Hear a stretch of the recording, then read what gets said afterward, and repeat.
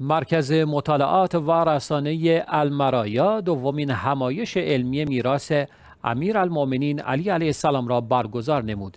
این همایش علمی با عنوان ابعاد مدیریت و قواعد حکومتداری در دانشگاه کوفه برگزار شد.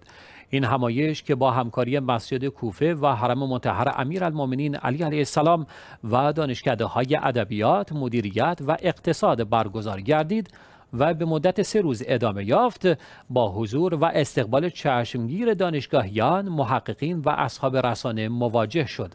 زلفقار حیدری معاون فرهنگی دبیر کل مسجد کوفه طی سخنانی در این همایش بر همکاری علمی جهت روشنگری میراث اهل بیت علیهم السلام به ویژه حکومت مبارک امیرالمؤمنین علی علیه السلام تأکید نمود وی افزود شیوه حکومتداری در دوره‌های اخیر اهمیت فزاینده‌ای پیدا کرده و ابتکاراتی که خواستار اصلاحات در حکومتداری هستند افزایش یافته که نمایانگر ضرورت برگزاری چنین همایش هایی است.